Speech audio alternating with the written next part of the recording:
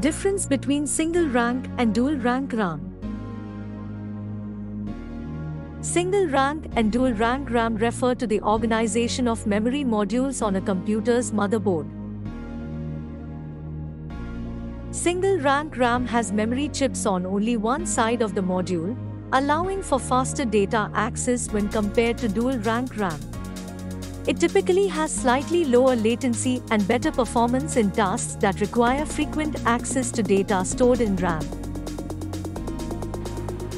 On the other hand, dual rank RAM has memory chips on both sides of the module.